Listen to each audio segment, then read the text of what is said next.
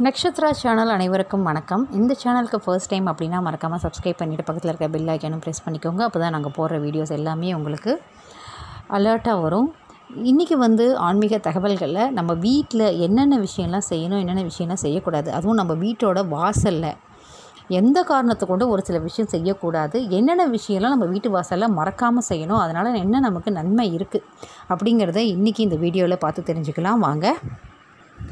எல்லாருக்குமே நம்ம வீடு அப்படிங்கிறது ரொம்ப பிடிக்கும். அது சின்ன வீடோ பெரிய வீடோ அது எப்படி இருந்தாலும் நம்ம பிறந்து வளர்ந்து வாழ்ந்த வீடை வந்து எல்லாராலையும் மறக்க முடியாது. நம்மளோட வீடு தான் நம்மளோட கோயில் அப்படின்னே சொல்லுவோம். அந்தளவு நம்மளோட வீடை வந்து நேசிக்க ஆரம்பிப்போம். அதை மாதிரி கோயிலாக நினைக்கிற அந்த வீட்டில் வந்து முன் வாசலில் என்னெல்லாம் பண்ணலாம்?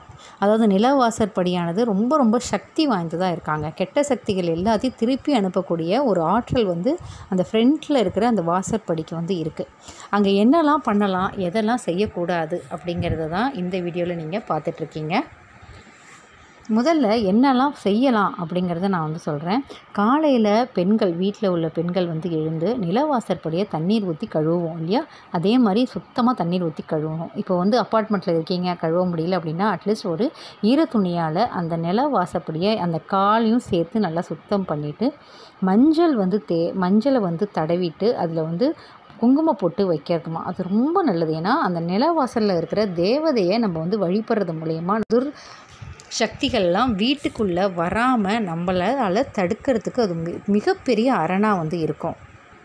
ஒரு கண்ணாடி பாத்திரமோ இல்லை ஒரு பீங்காங் கப்போ இல்லை வந்து நம்ம அந்த உருளி சொல்லுவோம் இல்லையா அதை வச்சு தண்ணி ஊற்றி பூவை வந்து டெய்லி வீட்டு வாசலில் வச்சிங்கன்னா ரொம்ப ரொம்ப சக்தி வாய்ந்ததாக வந்து இருக்கும். ரொம்ப பாசிட்டிவ் எனர்ஜி வந்து கொடுக்கும்.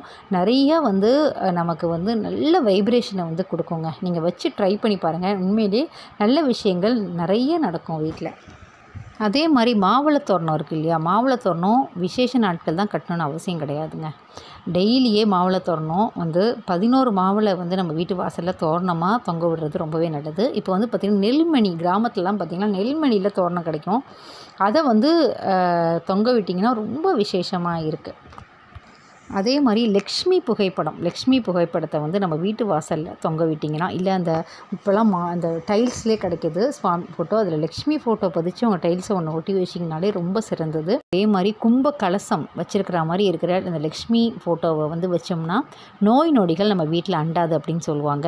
ஸ்வஸ்திக் அடையாளமாக அதிர்ஷ்டம் மற்றும் செல்வத்தை வந்து தேடித்தரும். நம்ம வீட்டில் இது மாதிரி விஷயங்கள்லாம் வச்சுட்டு வந்தீங்கன்னாக்க ரொம்ப ரொம்ப அதிர்ஷ்ட வாய்ப்புகள் நிறையா வரும். நெகட்டிவிட்டியே நம்மளால் வந்து விரட்ட முடியும். நம்ம வீட்டு வாசலில் அதே மாதிரி கதவுல வந்து குலதெய்வம் குடியிருக்கும் அப்படின்னு வந்து சொல்லுவாங்க. அதனால் சத்தம் போடாமல் கதவை வந்து திறப்பது சாத்துறது அதை மாதிரி வச்சுக்கணும். ரொம்ப சத்தம் போட்டு அடித்து சாத்துவாங்க ஒரு பிள்ளை வீட்டில் அதை மாதிரி செய்யாமல் இருக்கிறது ரொம்பவே நல்லது. ஏன்னா குலதெய்வம் நம்ம வீட்டு வாசலில் குடியிருப்பதாக ஒரு ஐதீகம் வந்து சொல்கிறாங்க இப்போது நில வாசற்படியில் என்னெல்லாம் செய்யக்கூடாது? கிரகலக்ஷ்மி வாசற்படியில் வந்து வாசம் செய்கிறா அப்படின்னு சொல்லுவாங்க இல்லையா? அதனால் அதில் நாம் சில விஷயங்கள் வந்து செய்யக்கூடாது. நில வாசற்படியில் நிற்கக்கூடாது அப்படின்னு சொல்லுவாங்க. அதில் வந்து தலை தலை வைக்கிறது படுத்துக்கிறதோ இல்லை வாசற்படியில் மேலே அமர்வதோ இல்லை வாசலில் உட்காந்து மற்றவர்களை பற்றி குற்றங்குறை பேசுகிறதோ வந்து அங்கே நின்றுக்கிட்டு நகங்கடிப்பதோ இது மாதிரி தவறான விஷயங்களை அந்த இடத்துல வச்சு செய்யக்கூடாது. இது துர்தேவதைகளை நாம் உள்ளே அழைப்பதற்கு சமம் அப்படின்னு வந்து ஒரு ஐதீகம் வந்து சொல்லுது. நம்ம வீட்டிலேயே பெரியவங்க வந்து சொல்லுவாங்க நிலவாசப்படியில் உட்காராது அப்படின்ட்டு. அதுதான் காரணம். மாலைகள் தோரணங்கள் கட்டுவதற்கு அடிக்கப்படும் ஆணி இப்போ வந்து பார்த்திங்கன்னா வாசற்படியில் மேல் அடிக்காமல் அதிலிருந்து தள்ளி சுவற்றில் அடிக்கணும்.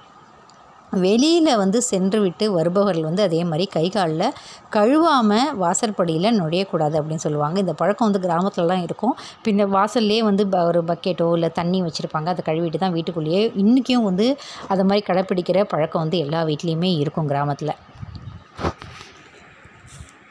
சுத்தமாக வந்து வரணும் அப்படிங்கிறது தான் அதுக்கான ஐதீகம்.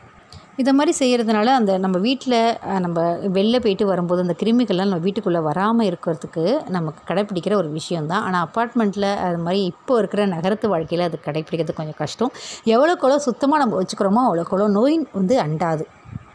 இதை மாதிரியே நம்ம சின்ன சின்ன விஷயத்தை கடைப்பிடிச்சிட்டு வந்தாலே போதும். வீடு வந்து புனிதமான கோயிலாக மாறும் அப்படிங்கிறதுல கொஞ்சம் கூட சந்தேகமே இல்லை. இன்றைக்கி நான் சொன்ன தகவல்கள் எல்லாமே உங்களுக்கு பிடிச்சிருக்கும் அப்படின்ட்டு நம்புகிறேன் மீண்டும் வேறு ஒரு சூப்பரான வீடியோவில் உங்களை சந்திக்கிறேன். நன்றி வணக்கம்.